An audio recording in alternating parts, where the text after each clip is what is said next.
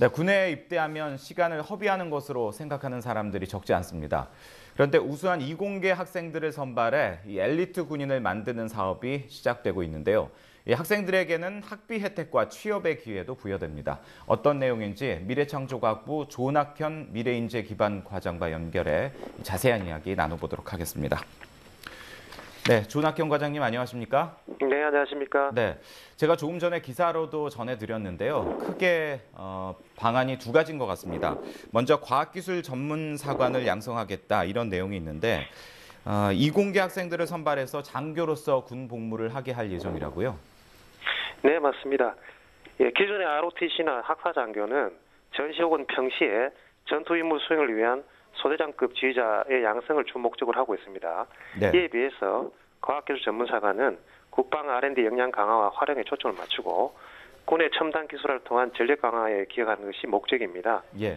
대학 교육과 군복무, 제대 후 취창업을 연계해서 우수한 이공계 학생을 국방과학연구소 등 군소속 연구기관에서 복무토록 하고 창업과를 양성하는 새로운 개념의 군 장교 양성 프로그램이라고 할 수 있겠습니다. 예.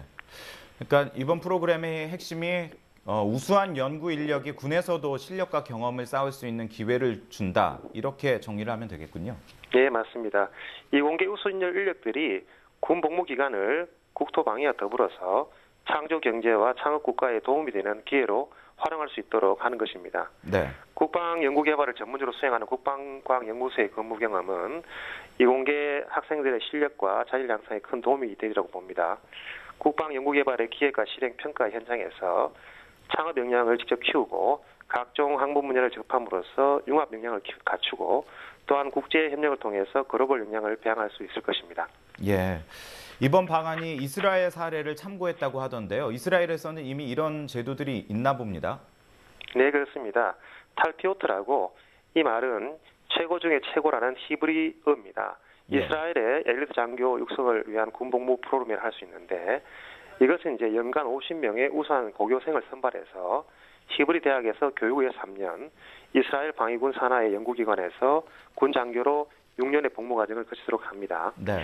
이 탈피오트 제도를 통해서 배출된 인력은 소수이지만은 이스라엘의 벤처 업계와 학계에서 크게 두각을 나타내고 있습니다. 예. 예를 들어서 어, 배터리 교환 방식의 전기차를 개발한 베터 플레이스와 이베이가 인수한 지불 보안 업체 프로드 사이언시스 등이 탈피오트 출신이 만든 벤처 기업으로 알려져 있습니다. 예.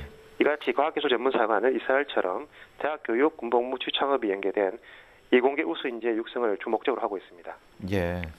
그 장교로 임관한 학생들은 국방과학연구소 같은 곳에서 일한다고 하는데 그렇다면 구체적으로 근무하는 기간이나 또 어떤 업무를 하게 되고 또 이런 지원 이런 그 프로그램에 지원을 하려면 어떤 과정을 밟아야 하는 건가요?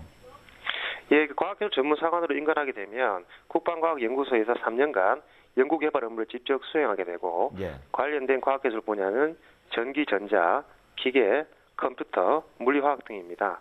이번에 체결된 협약을 바탕으로 해서 구체적인 자격 요건과 교육 과정에 대해서는 세부 추후, 추후 협의할 예정입니다. 예. 다만 우수 학생 선발을 담보하고 20명이라는 소규모 정원을 고려해서 카이스트 등 과학기술 특성화대를 중심으로 양성하는 방안을 검토하고 있습니다. 예. 금년의 선발 대상은 카이스트 등 과학기술 과기 특성화대 2학년을 대상으로 하고 교육 과정은 해당 기술 분야의 전공 과목과 공통 과정인 국방과학 기술 과목으로 구성할 계획입니다. 예. 오늘 체결된 MOU를 시작으로 해서 올해 4월 달에 운영 기본 계획을 수립하고 올해 10월 중에 제1기 과학기술 전문사관 후보생을 선발할 계획으로 있습니다. 예. 지금까지 그 과장님께서 설명해 주신 것이 과학기술 전문 사관 이 프로그램에 대한 건데 이번에 네. 발표하신 것 가운데는 사이버 전문 인력을 양성하겠다 이런 내용도 포함됐는데 이건 그렇습니다. 그 장교로 임관하는 것은 아니라고요?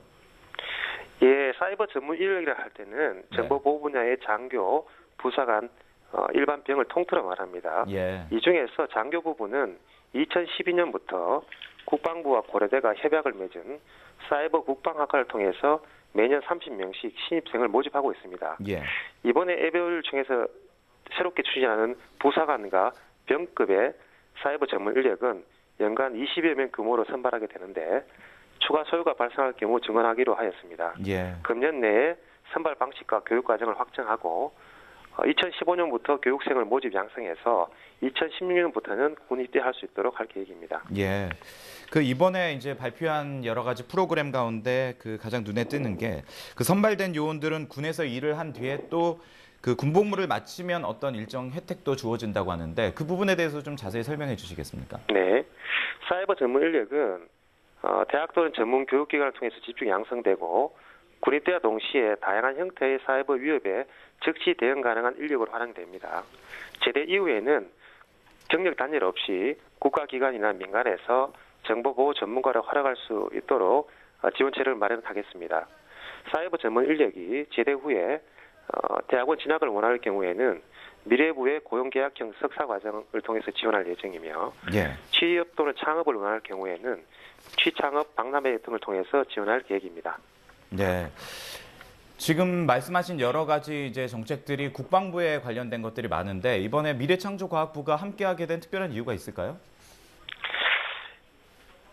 네, 어, 이 과학기술 전문 사관과 사이버 전문의 양성은 이공계 우수 인재가 군복무를 새로운 기회- 기회로 활용함으로써 경력 단절 없이 국방과학 기술 및 창조 경제에 기여하도록 하는 것을 목적으로 하고 있습니다. 예.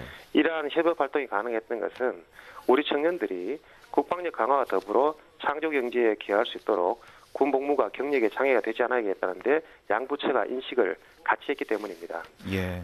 정부 부처들이 협의해서 우수한 인재들이 전문 분야에서 지속적으로 자기 개발을 할 수 있는 환경을 조성하고 창조 경제 기반을 확장했다는데 그 의미가 있다고 하겠습니다. 예. 음, 지금까지 미래창조과학부 조낙현 미래인재 기반 과장과 함께 이야기 나눠봤습니다. 오늘 말씀 고맙습니다. 네, 감사합니다.